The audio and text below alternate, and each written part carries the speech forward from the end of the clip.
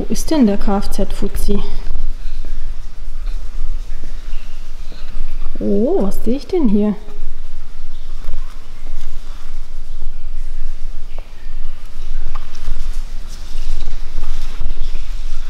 Hübsch.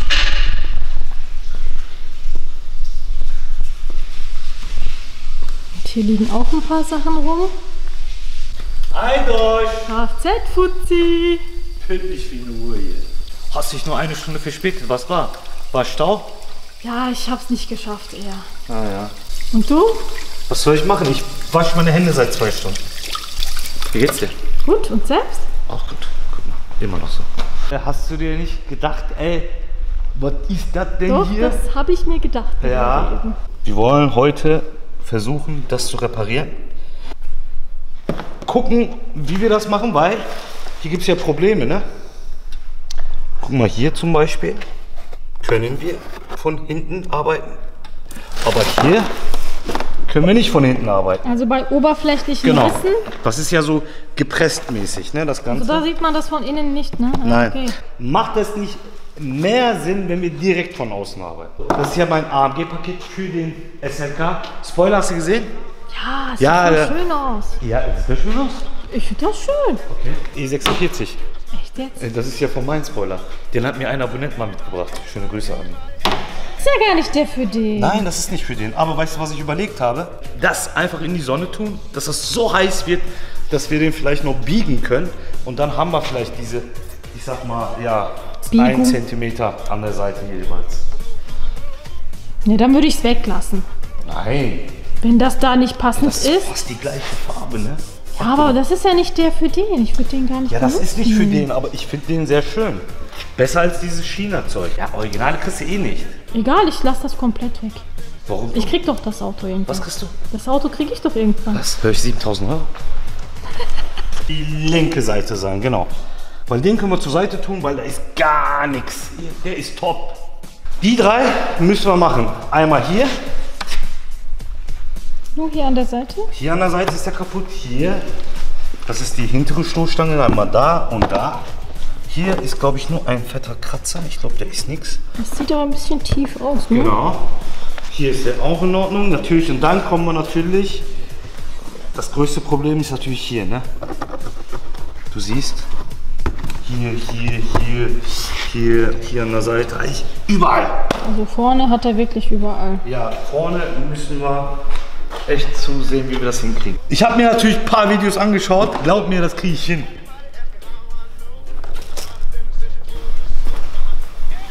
Ich habe vergessen, den aufzuladen. Nein. Hast du Zeit mitgebracht?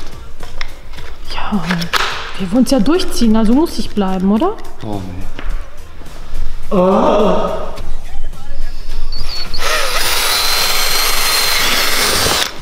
Warum bohren wir jetzt? Damit die Risse nicht weiter aufreißen.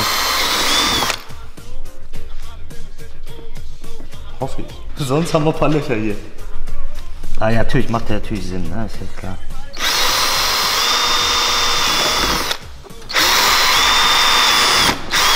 Und der könnte auch hier aufreißen.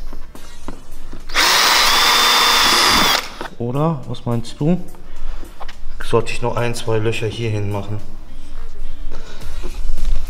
Vielleicht an dieser fetten Stelle hier, oder? So doof. Meinst du nicht? Ich weiß es nicht, oder? Ich, ich kenne mich damit überhaupt nicht aus. Ja, dann fragst du den richtigen. Gehört. Ja, ein, zwei Videos habe ich geschaut, deswegen.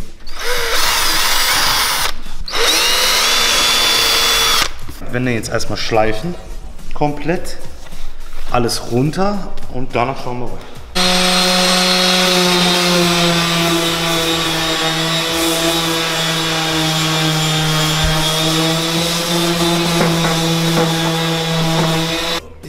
Ich habe ich hab gesehen, dass er erstmal die Farbe abgemacht hat, weil wir später das Ganze ja kleben und dann spachteln werden. Das heißt nicht auf die Farbe. So habe ich das verstanden. Jetzt zwar nicht erklärt, aber Du hast es gesehen, ich nicht. wir können ja zusammen gucken eben. Ja klar, gerne. Ich gebe gerne Tipps und Tricks weiter, wenn ich es Ja, ja. weiß.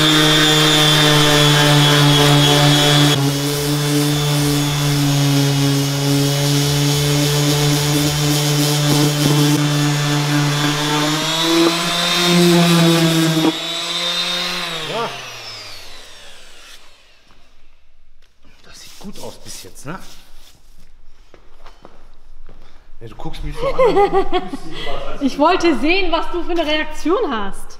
Ja, die Reaktion. Das ist auch eine Kunst.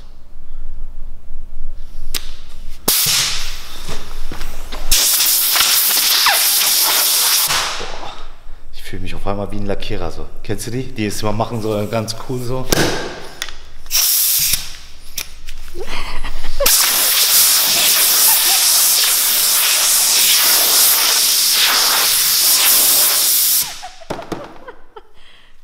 Gestreichelt. Die Lackierer doch immer so voll cool drauf. Also die, die ich mal gesehen habe. Was hast du Wir gesehen? werden jetzt das Ganze hier aufschneiden.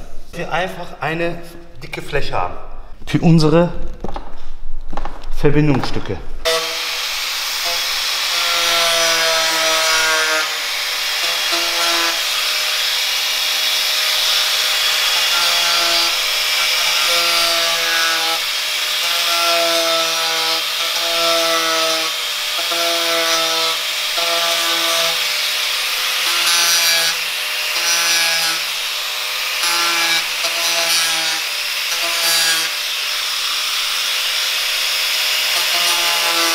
So, Eidosch. Das so richtig ist du? Ach so, du, hast es gar nicht ganz aufgemacht. Du hast dir so eine richtige Rille. Ja.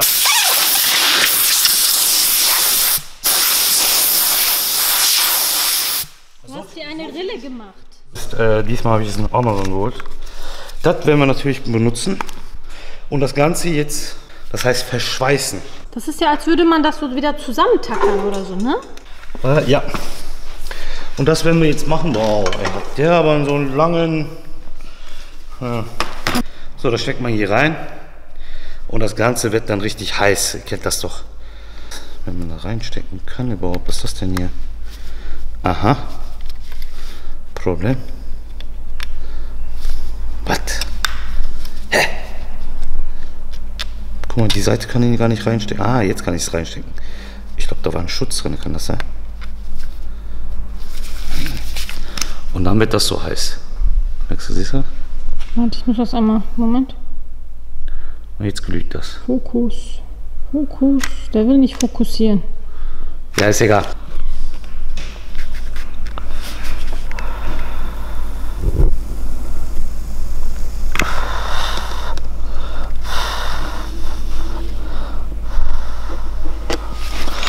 So, eine Klammer haben wir drin. Muss das so nach außen bleiben? Ja, Alter, das ist Die steckt man dann, äh, schneidet man dann ab wahrscheinlich, ne? Ja, das schneidet man gleich ab. Da, dazu kommt man noch. Lass doch erstmal gucken. Lass mich jetzt mal alle fertig machen. Also irgendwie habe ich das Gefühl, das Ding wird nicht zu heiß. Ich glaube, du musst es einfach länger halten, bis du richtig reinkommst wahrscheinlich, ne? Nicht aus.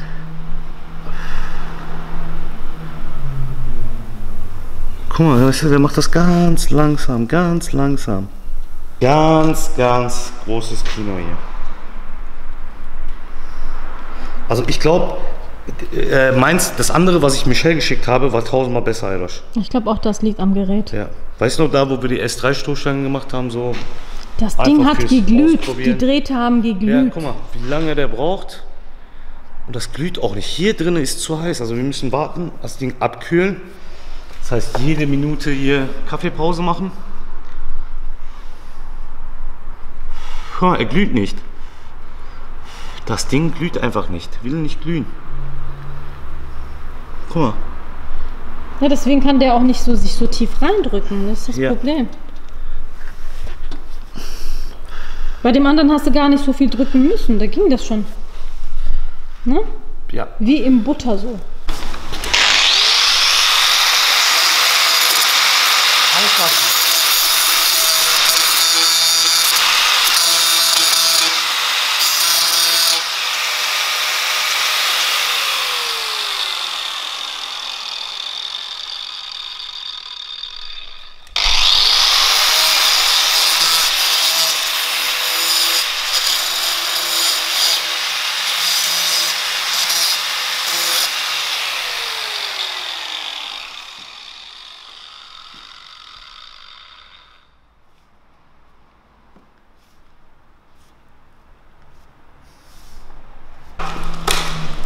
Alle raus? So gut wie. Das sind jetzt ein paar Stück. Äh, irgendwie klappt das nicht. Ich habe mir nochmal das besorgt. Das ist zwei Komponentenkleber. Das heißt, wir werden das Ganze schön kleben.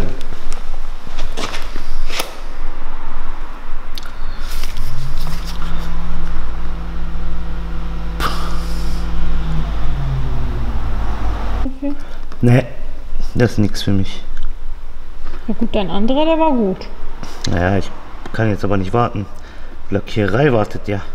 Ja, stimmt. Die wollen ja endlich anfangen. Der Lackierer will, will ja danach Urlaub machen. Braucht er auch nach dem Auto. Ja, das Ding ist aber saustark. Echt? Ja. Klebt ziemlich schnell. Trocknet es auch schnell? Ich weiß es nicht, Alter. Ich hab's. Ich habe mit diesem noch nie- Kleber okay. noch nie gearbeitet. Aber so viel ich weiß, ja, das soll schon krass sein. Ja, warten wir mal ab.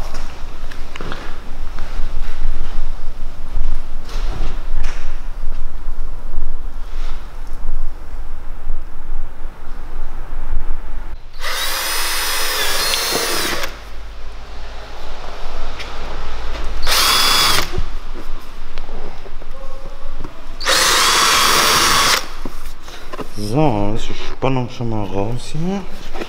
Aber da haben wir noch mal reichlich Spannung, ne? Achte mal hier.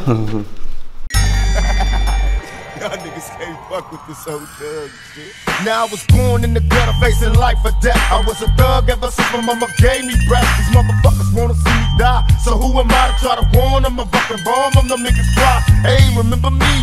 Damn that Hennessy, the nigga you don't wanna see. Let me proceed. My definition of some thug shit, y'all don't hear me. Now that it's poppin', ain't no love, bitch. I maintain in the game in the gutters where I still kick it. I'm trying to hustle up a meal ticket. I'm still wicked in my ways. I hustle to my dying days. Ain't nothing wrong with getting paid from nigga blaze. Cause we some motherfucking fools. Walking through the streets wearing jewels. Breaking niggas, breaking moves. Even the cops can't stop us. My enemies flip when they see me drink a fifth of that Hennessy. This is Los Angeles.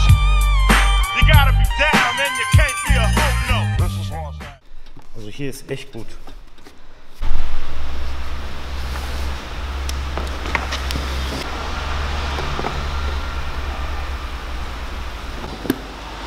Ich schwör's dir, Alter. Ich, das Ding ist scheiße, ist das.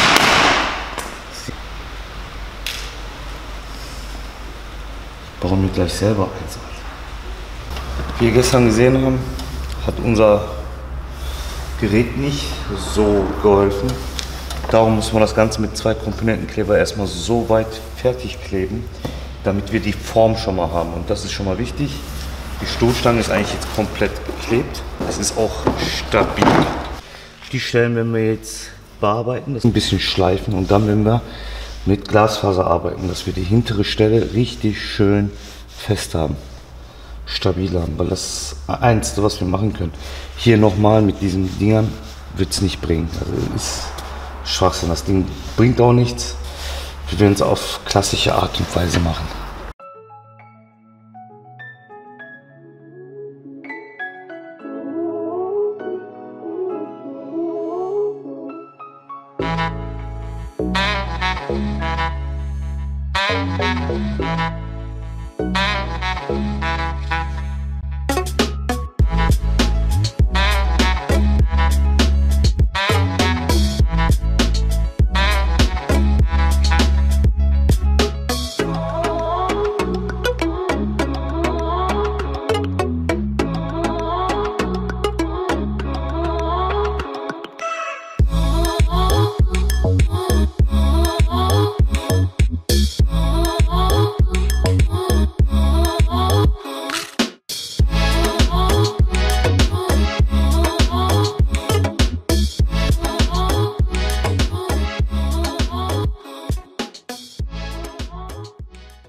Also wir haben es ja nicht geschafft, mit, mit dem Gerät zu machen.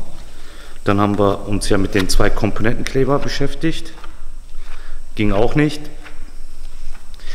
Ja, so ein bisschen schlecht gelaufen. Guck. Natürlich. Mal gucken, ob ich von Zellkanal jetzt was gelernt habe und von Ahmed haben. Ich brauche noch die Form. Das ist wichtig, dass wir die Form beibehalten. Und nicht verändern, richtig. Ja. Weil sonst kann ich hier bis zum Abwinken hier. Draufballern und wird trotzdem nichts. Hm? Ja. Wenn man die Form verliert. Wenn man die Form verliert und das geht schnell bei Spachteln. Echt jetzt? Ja. Also, ähm, ich kann ja auch nicht spachteln. Ne? Ist, Ach, da hast du auch schon gemacht. ja. Träum du mal weiter hier. Ey, sieht doch gut aus hier. Ja.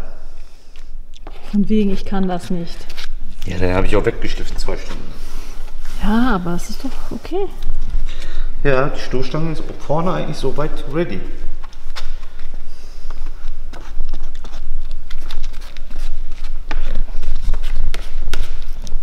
Hast jetzt auch diese Stellen hier auch gut zugekriegt? Das sieht doch ganz okay aus eigentlich, ne? Aber ein, zwei Sachen hast du ja hier noch. Ja.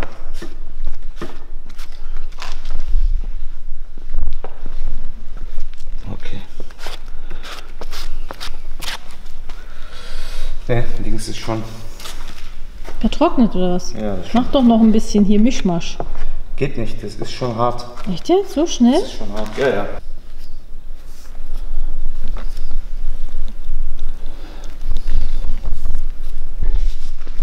Hier habe ich Glasfaser gemacht komplett. Innen. Zwei Schichten so. Ach, deswegen sind hier so wirklich überall Dinger Ja, hier. kannst du mal Fäden anfassen, so. wie, schön, wie schön stabil das Ganze wird. Boah, das ist aber echt richtig hart, das Zeug, ne? Mhm. Ey, das stinkt aber fürchterlich. Ist das das? Ja. Ey, cool. Ey, es gibt ja richtig Stabilität. Das Ding ist ja optimal. Ja, Ich also mag Glasfaser. man, man kann vielleicht sogar äh, sich überlegen, auch noch eine Schicht. Hätte ich auch gemacht, aber leider habe ich nur noch das gehabt, was ich hatte. Ich habe zwar Schwachtel noch da, aber ich habe kein Glasfaser. Sonst hätte ich noch mal ein oder zwei Schichten gemacht. Aber ganz ehrlich, das ist doch tausendmal Also, besser als dieses andere Ding, Diese- da, wo du Klebe- die Nägel da reinhauen Äh, musst. Kleber kannst du in eine Tonne kloppen. Ja gut, das Kleber kannst du vielleicht so Kleinigkeiten. Nein, weißt du, was das Gute bei diesem Kleber war? Dass wir das erst so zusammengeklebt haben, dass das Ganze erstmal klebt. Und dann hinten habe ich hier komplett Glasfaser reingemacht. Und danach konnte ich vorne, hier alles, konnte ich dann schön spachteln, verspachteln und dann nochmal fertig. Also das, das war echt gut. Ansonsten echt äh, Katastrophe. Natürlich wird der Lackierer noch sehr viele Stellen finden, wo er spachteln muss und so weiter. Hast du doch gerade so groß getönt, dass du das kannst. Weißt du was? Ich werde dir jetzt eine Mischung machen und dann machst du diese beiden Stellen. Aber um diese beiden Stellen zu machen, müssen wir erstmal schleifen. Hier ein Okay. bisschen schleifen und hier schleifen Ja, und dann spachteln wir das mal. aha, Okay? okay. Zeig, was du drauf hast. Ich darf da gar nicht drankommen, Ey, oder? warte mal, warte mal. Was machst du denn? Du sollst die Seite hier machen. Ja, das, warte. Das darf ich ja gar nicht hier, ne? Das sollst du nicht machen, bitte. Ja, okay. Ist ja gut. Aha. Aldosch, wie ist das? Schon schön, aber man muss ja wissen, was man tut, ne? ich weiß nicht, ob ich das weiß. Also du machst das echt gut. Okay. Komm, komm, mach, mach, mach mal ordentlich drauf. Keine Angst. Wer spachtelt, kann auch später runterschleifen. Meinst du, wenn es zu viel drauf ist?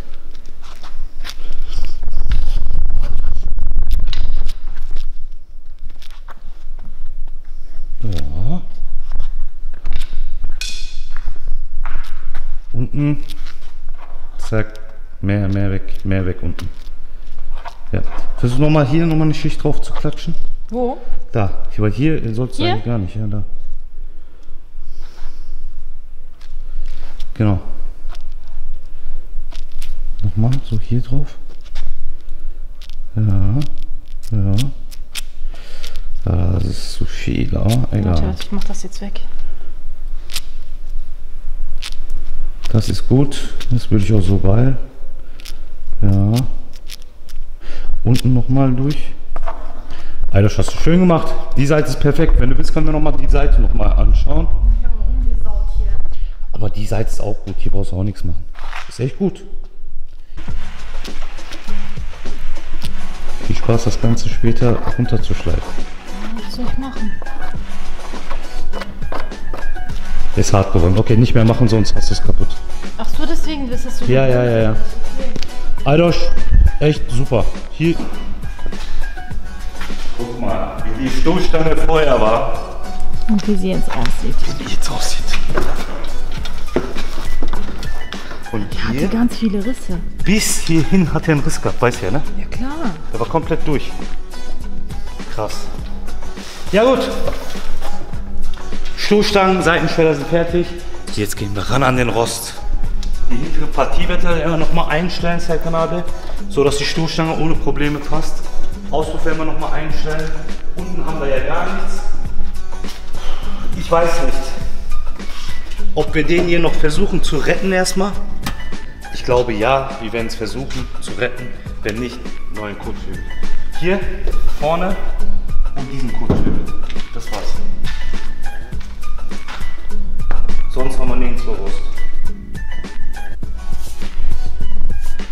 Also jetzt nur noch Rost fertig machen und dann ab zum Lackierer. Geil? Eigentlich hast du gut gemacht. So, wenn ihr es auch meint, könnt ihr auch gerne mal kommentieren, wie sie uns beim nächsten Video erkauft. Bis dann. Haut rein. Ciao.